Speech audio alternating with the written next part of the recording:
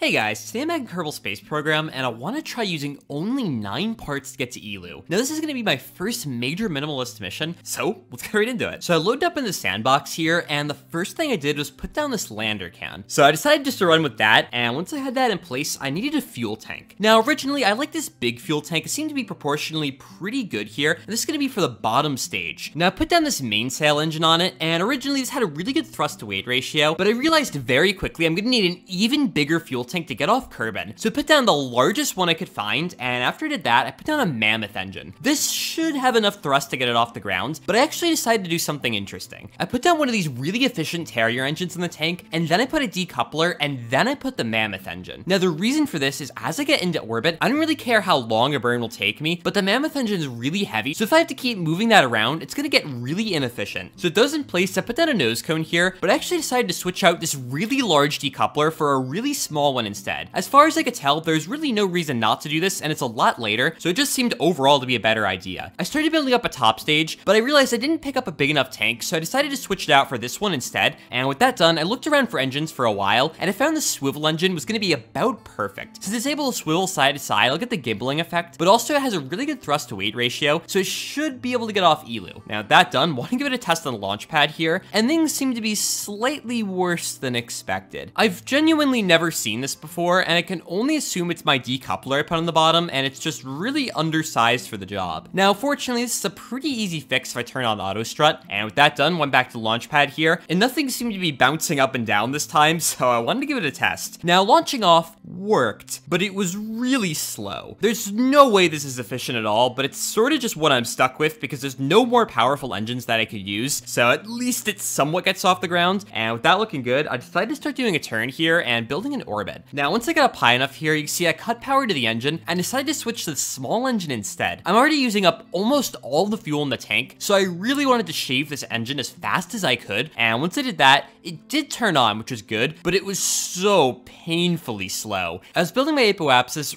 really slowly here, and it just was not going to be good enough to really get anything done. But I wanted to just do a test of the top stage here while I was at it, and you can see I launched off the nose cone fine, and also I'm able to fire this one up pretty easily here. So with all this looking good, I wanted to go back to the vehicle assembly building and tune some things up. Now I started here by getting rid of this really big nose cone, going for a smaller one, that's to save a little bit of weight, and after that, I switched out my really weak engine for this slightly more powerful one. And once I did that though, you'll also notice I'm offsetting the engines. Now I have to offset them by quite a bit so that the first engine doesn't burn on the second one, and unfortunately, this causes some problems, and the rocket doesn't really like that. So at this point, I decided to get rid of my second engine here and just use the Mammoth engine. This though is going to give me access to two more parts, and for that, you'll notice I'm putting on these solid rocket boosters. Now I have to put them right on the tank, and I can't use any decouplers, which is definitely going to be a little inefficient, but I thought I might as well give it a try here, and they should give me a lot more power. But when I gave it a test here, it immediately failed. In fact, it was so quick, I almost didn't notice it. As I tried to take off here though, for whatever reason, they just decided they didn't want to be attached, and I really don't know why. So I didn't really know what to do here, but I turned on auto strut thinking maybe that would help, and it actually did seem to. The rocket didn't fall apart this time, and going off the launch pad, everything seemed to be holding together. And getting off the launch pad, you'll also notice it's a lot faster now. This is going to be really helpful, and it should improve my efficiency a lot. And you can see in the upper atmosphere here, I ended up burning off those rockets, and I started to increase the power of my liquid engine. Now, let's just check in some stuff here, and it came back in, and you'll notice that an engine just slipped off. I, like, literally do not understand why that just happened. Nothing changed about the rocket at all. So I decided just to launch it again, thinking it must have been like a one in a million chance. But then my rocket fell apart again, and everything was disconnected. So I raised up my solid rocket fuel boosters, thinking maybe when they're touching the ground, they start getting weird, but this didn't seem to help anything at all. In fact, they just fell off in the exact same way. So I tried it again, but I lowered them this time, and I really don't have an explanation of why this might be better, but it seemed to work this time. So I gave it a launch, and this is actually my first attempt at the full mission. Now, of course, getting off the launch pad here is fundamentally the same thing. Moving the boosters around didn't really change anything at all, except for the fact that it fails slightly less often. And once I started burning up here, I started to turn, and once I got up to about 20,000 meters, my solid rocket fuel boosters finally burned out, and I launched the liquid engine. This shock, though, seemed to knock off one of the boosters, and at least this time I kind of understood why it might do that. So I tried to launch again, and I slowly throttled up the engine this time, and that that seemed to help the situation. Nothing fell off and I was really happy about that. Now, since that actually managed to work, I decided to drop a save here and I loaded it up just to test if it worked,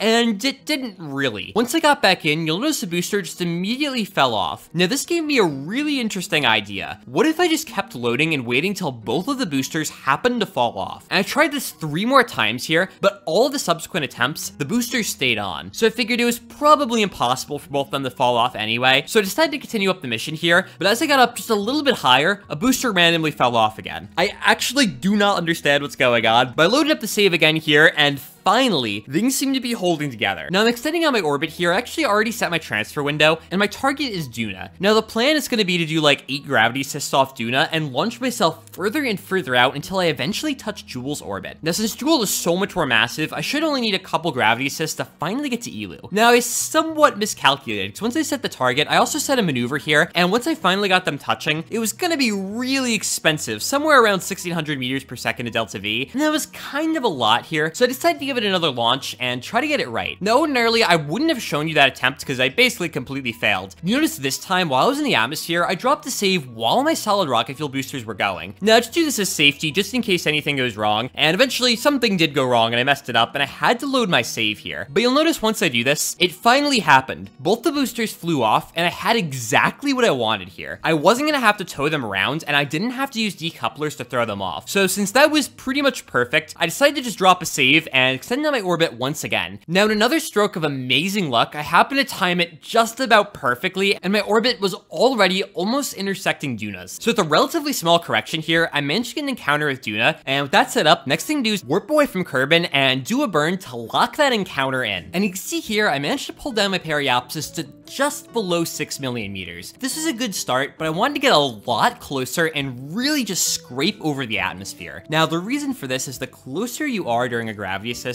the more energy you'll actually take or give to the planet, and in this case, I wanted to be right about 50,000 meters because the atmosphere starts there, and if I dip in, I'm gonna start losing energy to that, which really isn't great. And with that looking good, just warped over to the maneuver node, and once I did that, I need to start turning my rocket. This was actually not a trivial task here, because starting to turn it means I'm gonna use up electric electric charge, and I don't have an infinite amount of that. So I started to turn up here using the charge, but I ended up cutting off the charge from being used, and once I did that, you can see the rocket is still spinning. And to stop it, I can use the time warp trick, and what I mean by this is if you turn on time warp at all, it stops rotating your rocket, and you can see now I'm locked pretty much where I need to be on the maneuver node, and I only need a very small correction to get right on it. So with that done, you can see I started to do my burn here, and it's actually really cheap. It's only about 3 meters per second, and you can see my projected path going right where I need it to here, and you can see now in the distance there, so I worked a little bit closer, and here I'm doing my scrape right over the atmosphere. Now, the one thing I like about gravity is just that I don't have to do anything, so I could just get some nice shots here, and you can see after I got that done, I had to start warping towards Jool. Now, my original plan, like I said, was to do a bunch of gravity assist off Duna, but since my boosters came off, I saved like 800 meters per second of fuel, so at this point, I could actually save myself the trouble, and I could go straight to Jool. Now, I would have just done this originally, but since I already had the Duna encounter set up, I figured I might as well start with that here, and at that done, you can see here, I'm extending on my orbit to Jool. Now, this burn is extremely expensive. It's about 2,000 meters per second, and it's actually gonna use all of the fuel up in my bottom tank, and I'm gonna have to start using the top tank. So of course, got up pretty far, used all the fuel in that tank, and I launched off the very top stage. Now, starting out here, I have 5,000 meters per second to Delta V, which sounds like a lot, but since I'm gonna land on Eeloo, it's gonna be very limiting in about a second here. And I added on one maneuver node here, and this was to tune my orbit. You can see I could pull it a lot closer, and now I get an orbit that extends out really far, but I actually decided to go for this smaller one instead, and I'll explain why in a second. Both it all planned out, is pretty methodical at this point, had to warp over to the maneuver node, start to do my burn here, and you can see the orbit start to pull in right around Jool. So I just had to warp towards it again, and this encounter is actually not going to be that close to Jool. Now since Jool is so massive, you don't have to get that close for it to have a really strong effect. So I finished on my flyby here, and as I'm flying away, you can see here why I chose the path I did. I actually already get a second encounter built in, and all I have to do is fine tune it to get a lot closer. This is quite powerful, and you can see now for only 9 meters second to Delta V, I'm getting pretty much exactly the path I need to meet up with Eeloo. So that planned, of course, over the maneuver node, started to do a burn, and once I had that burn finished up here, you can see I'm getting a much closer scrape this time. This was kind of done out of necessity, but also I knew it would kind of look good on the video. So I warped in here, and of course it had to happen at night, so that kind of ruined my shot anyway. But I decided to put in a maneuver node here, and I started to tune my orbit with Eeloo. Now I was already getting pretty close to it, but with not too much work, I actually managed to get a full encounter here, and it was only costing about 73 meters per second. This was pretty cheap all things considered, so I started to do my burn here, and you can see I had to lower my thruster limit the final little bit done, so it was getting really finicky, but I pulled in the orbit to just below 20,000 meters here, and that seemed to be pretty good. So I warped in a lot closer to Eeloo, and I set up a second maneuver here, and this was to get really close to the surface. Now, of course, to get captured, you want to be as close as possible before you do your burn. So I got that in really tight here, and I was hoping to land on the equator as well. This was kind of preference, but also Eeloo orbits really quickly, so if they could take advantage of that, it would have been really helpful. So after planning that out here, I pulled in the orbit, and it was time to warp over to Eeloo. So after that came to view, I set up a maneuver here, and this was mostly out of curiosity to see how expensive it would be to get captured. And it was about 500 meters per second, which was kind of a lot, but it should be okay. So I warped in close, and once I got down to the periapsis, started to do my burn here, and after not very long, I managed to burn all the fuel I needed, and I got fully captured. Now I pulled it in a little bit closer as well, and this is because I didn't want to slam into the surface at over a kilometer a second. So once that was done, warped over the apoapsis, and I started to do a small burn here to just barely touch the surface. I didn't to pull it in too much, but once I had that touching, I warped in a little bit further, and it was time to try the landing. Now, once I fell down to about 2,500 meters, I started to do my first big burn here, and it was because I was getting a little concerned about how much speed I had going to the side. So once I got down to about 80 meters per second, I started to fall a little bit more, and you can see I'm a lot more straight up and down. So I just kept falling and progressively doing a bunch of random burns, and my plan was to fall on my side. Now that sounds a little weird, but there's really no reason for me to fall straight up and down. Also, I kind of figured it'd be impossible anyway. But getting on my side was probably fine, because the engine I had was actually really powerful, and since it has that really strong gimbal, I should be able to fling myself up off the ground, and I figured this would be okay. But when I fell here, notice I slowly started to roll, and this prevented me from saving. And I just kept doing this, and I was hoping to reach the bottom of the hill, but it was really, really tall, and it took a long time here, and eventually it got even more steep, and after not too long, my rocket finally exploded, and I lost the fuel tank. So that's gonna make burning fuel a lot harder, so I had to load my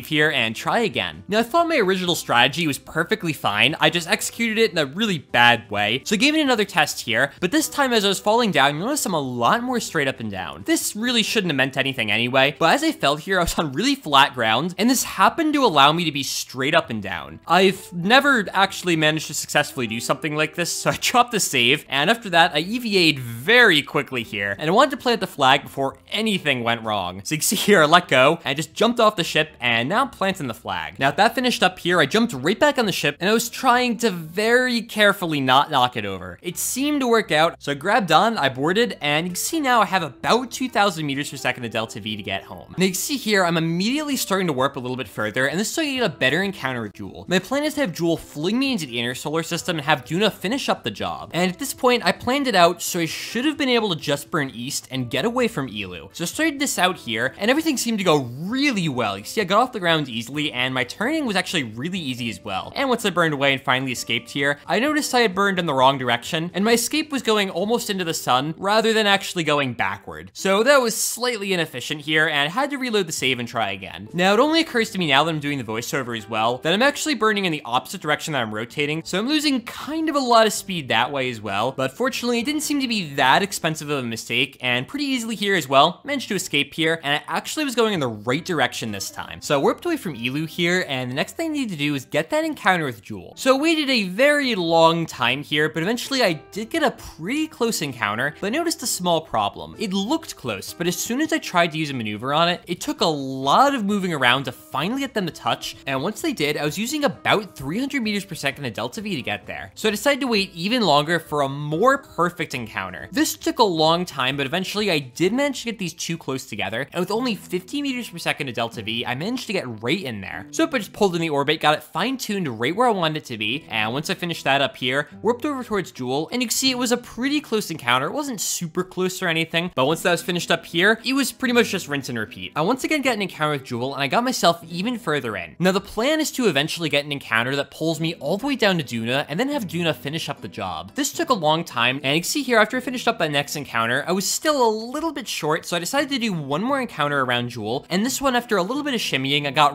right on Duna's orbit. So I just did that gravity assist around Jool again, and now with that done, all I had to do is set Duna's the target, and after that, it was an extremely long waiting game to finally get an encounter. I'm not sure why it took such an extremely long time, and the encounter I got wasn't even that good, but I was just gonna take it because I pretty much just wanted something. But fortunately, it was only about 40 meters per second to Delta V to get that encounter. So of course, I pulled it in right above Duna's atmosphere, and with that done, just had to make sure to rotate here and do that burn. Now I'm already down to about 480 meters per second to Delta V, and that's really not a lot. I was getting a little worried that I didn't have enough fuel at this point, but I figured if I just did a lot of gravity assist off Duna, I should be okay. So you can see now just warping over towards Duna, and I did my first gravity assist. Now, unfortunately, this one is at night, so I kind of got terrible footage on this, but I knew there would be a lot more to get some better shots from. So I just had to set Duna as the target again, and see now my second assist. This one was a lot better. I went right over this canyon, and I warped away, and almost the entire thing was during the day. So I was really happy with this, but you'll notice I'm still kind of far away, and I'm gonna need to do a couple more encounters here. So I set up an additional one here, and after doing that, I was almost fully touching Kerbin's orbit. So I just did one more encounter here, and this one pretty much entirely got me there. It seemed to barely touch the orbit to get this finished up. So all there was left to do was just wait again, and hopefully get an encounter with Kerbin. I did finally get a close approach and turned it into an encounter, and once I get it wrapped around here, I got it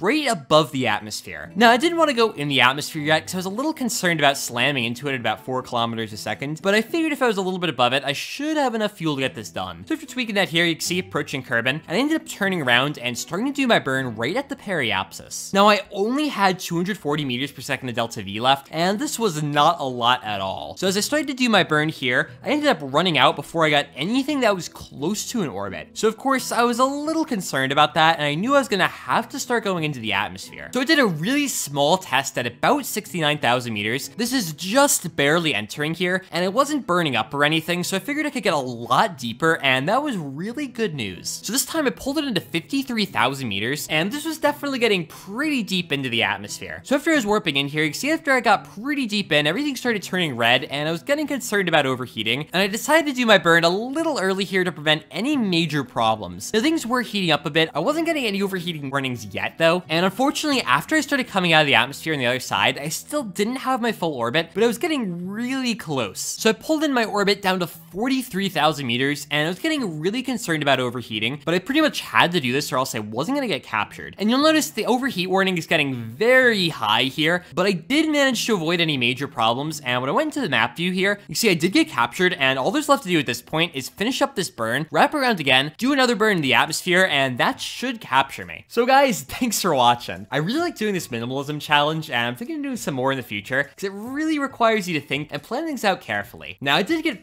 pretty lucky a few times, especially with the boosters falling off, but I figure if I shave more parts, things could get even more interesting. So if you have any more ideas for future missions, make sure to leave them down below. If you want to see more content like this, make sure to subscribe. If you have any questions or comments, make sure to leave them down below as well, and otherwise, until next time.